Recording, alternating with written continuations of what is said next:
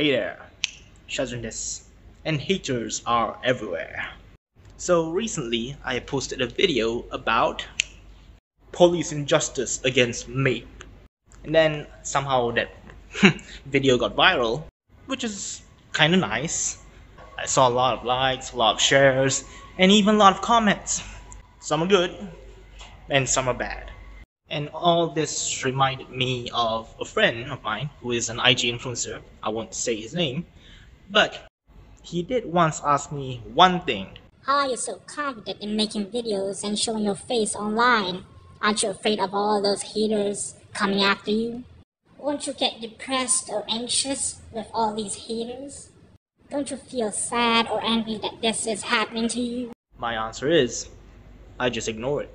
Because essentially, they're just words online that people made, and what could they possibly do to me? Ooh, ooh, you look like a nerd I want to punch. Ooh, you move like you have Parkinson's. Ooh, why do you have such a big face with such small eyes? What do you mean? I mean, how do you expect me to react?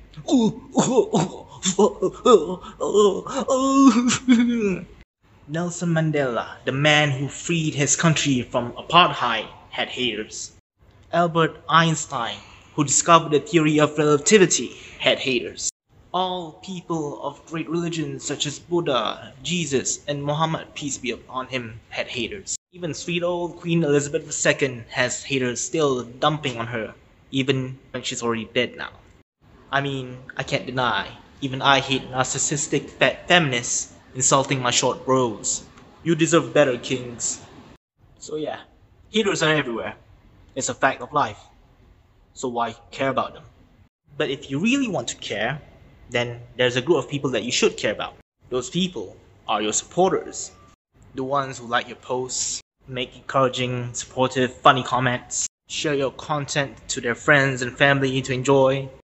Those are the group of people that you should care about. They're also part of the reason why I keep going on. No matter how bad things get, I know that they're still there.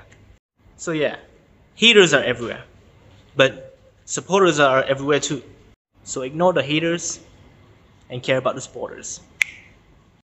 So to my fellow content creators out there, especially my IG influencer friend who asked me this, keep it up. You have a supporter in me.